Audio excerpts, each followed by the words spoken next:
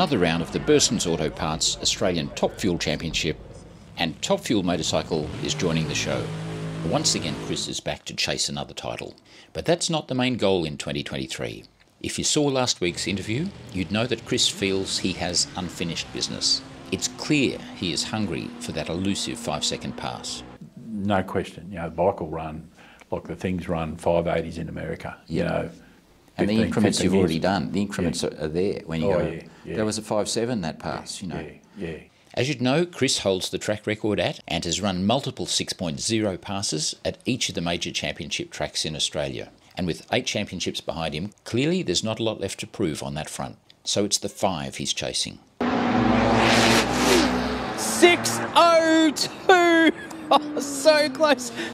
It's been tantalisingly close on many occasions. Chris has run half track increments of 3.8, which, as you probably know, point to quarter mile times comfortably under six seconds. So, why hasn't the sub 6 been possible in more than 10 years of trying? Well, mainly it's about the relatively short shutdown distance at Australian tracks. The go is not the issue, it's the stop. If you watch his passes, you'll see the Nitro Voodoo machine most often buttons off at around 1000 to 1100 foot and hits the finish at only around 230 miles an hour. Even though it's just one stop, have a look at how hot these rear brakes are. Chris knows that if he hits the finish line at over 250 at one of these Australian tracks, there's a good chance he simply won't be going to stop before the track runs out, shoot or no shoot. And he kind of feels it would spoil the occasion if he runs a 5.9 and ends up in hospital again with a mangled bike. I get that. Nonetheless, here he is again, and that's the plan. In 2023, chasing five.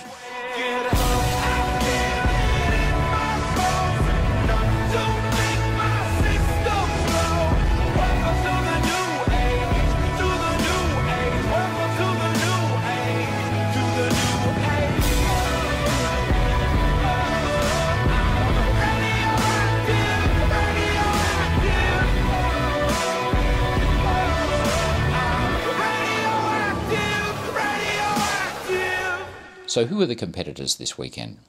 Newcomer to the category, Damien Martini, is doing licensing passes on his Nitro bike. So, he'll be running the rounds but not competing, per se. Hope it goes well for you. Thank you, you too. An experienced campaigner, Len Azzopardi's back, this time on a turbo bike. Here's Len. Haven't seen you run for a while. No, Welcome back. Uh, the- my Hayabusa is a lot faster than this. Is it? Yeah, it's been 660, Yeah, okay. 218. So, Oh, wow. Yeah, yeah, that's fast. Yeah, But it handles a lot different to this. okay. Yeah, this this thing, you've got to convince it which way to go. They've got a mind of their own, haven't they? Long-time campaigner Rob Cassar is also here. Rob was a round winner last season, so he's tough and consistent on his nitrous Kawasaki. Have you got budget for a new for a new Under Armour shirt? I think so. I might have to do the washing a few times. Sell a few of your trophies on eBay. Yeah, maybe.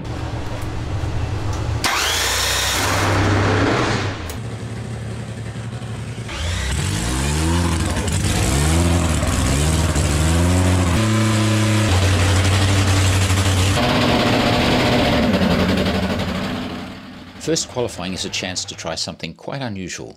You probably know the Nitro Voodoo bike runs a two-speed transmission, usually punching into second gear at about a quarter track. Chris has found that when the bike punches into second, the G forces drop from over 3 Gs to a bit over 2 Gs, which can unsettle the bike, which can then smoke the rear tyre.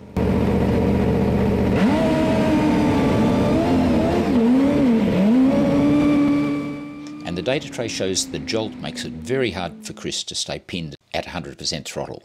So the simple process of changing gear can cause real problems. Oh, Nem. Whoa, 386 to half track. Whoa, Chris Matheson was quick. And the first ever 6.0. That is amazing. And look at the eighth mile speed. Yep. 331 kilometres an hour. Believe it or not, for the first qualifying pass, Chris is going to try something quite different. He's going to run the whole pass in first gear. Yep, 230 miles an hour in first gear. Not 9,000 revs as usual, he's planning on 11,500. And yes, he believes the super strong motor that Phil has built will handle those revs without hand grenading. Extraordinary. What can possibly go wrong? Chris lines up alongside Len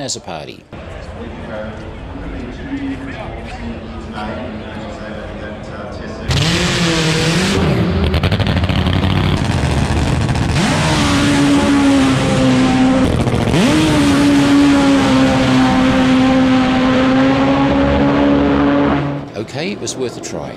1.09 to 60 foot is very good. 4.1 to half track at 186 miles an hour is also good for the hot conditions, but the motor needs load to work at its best and the loading falls away in the second half. It's getting plenty of fuel, but not enough air. Consequently, it can't maintain spark and drops cylinder 2 and then cylinder 3 and it's relatively soft 6.64 at 164 miles an hour. Enough to go to the number one qualifier spot and definitely worth a try. But I suspect the guys are going to go back to plan A. Over the years there have been so many changes to the bike. This is a team that doesn't rest on its laurels. Nitro Voodoo is constantly chasing performance in every way with new ideas, new setup, and sometimes things never been tried before. Among the other qualifiers, Rob Cassar runs a solid 7.0 to be second quickest.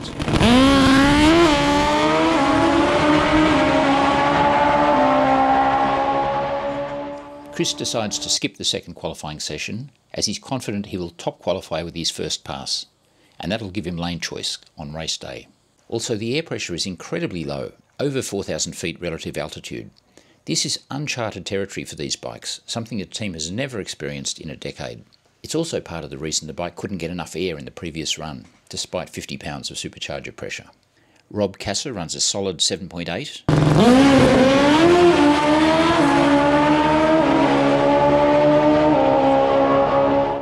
Newcomer Damien Martini runs a 7.4.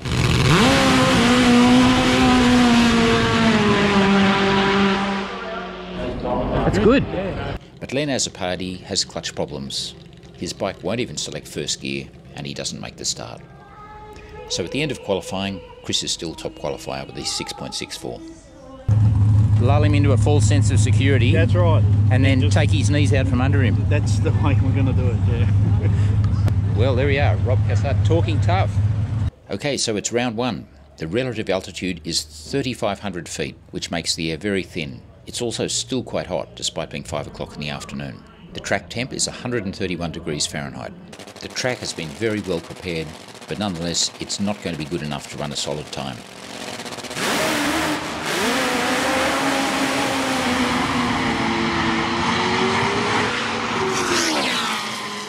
As you can see, there's not so much grip, but he wants to be in P1, so he gets the buy round next time, and he can choose his favourite right lane.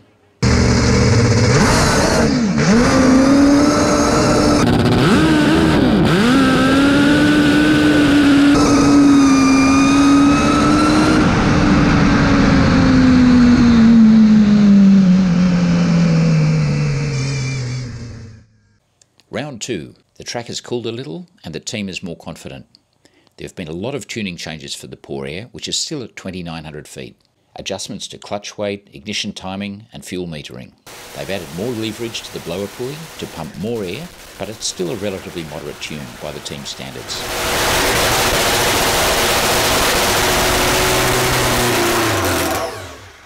Just turn the supercharger up to try and get more air into it to match the fuel curve, so we have the same power.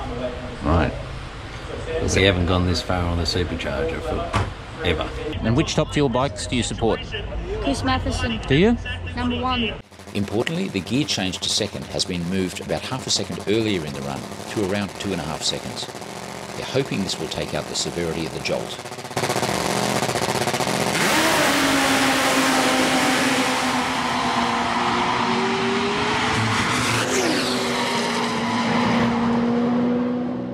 And it works. Chris says it's like a magic carpet ride. And yet another 6.0 at Sydney, very close to his own track record. Rob Cassar puts down a solid 7.14, and unfortunately Damien strikes problems. 23 or 25 grams on 4, 5 and 6. Yeah. Hopefully lock up the clutch earlier before the gear change will get us less slip so therefore we won't slip as much on the gear change and therefore drive harder. Okay? That's the plan. Do we stick to our theory and drop another gram because the clutch has got better? I think so. The tr- track will get better, but the air's going to get better. If the air's starting through the airs, I think it's at 28. And we might have to start thinking about winding the blower back one notch. So Braden, you're the crew chief. Have you got any um, tips for the student here? Alright, the only tip is to just run a five. Just go faster, you Just go faster. How am I going to do that? Oh, I don't know, but hold it on. Hold it on more. Righto. I'll give it a go. Alright. No worries. what do you reckon, Stu?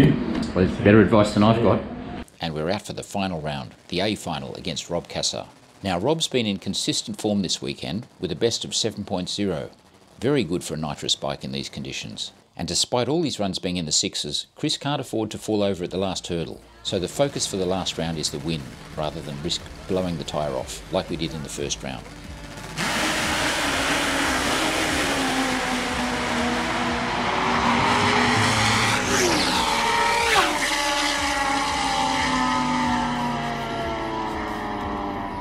So it's a round win to Nitro Voodoo. Fastest ET, top speed, maximum points, but no five point something. Chris knows the bike, in the right conditions, is in killer form right now. The motors that Phil designed and has built are super strong and reliable, and all the potential is there. The iron's hot, so immediately Chris is thinking about the 59 hour drive to Perth and having another crack at the elusive 5. That's only four weeks away, so make sure you subscribe to the channel and let's enjoy that 6.0 one more time.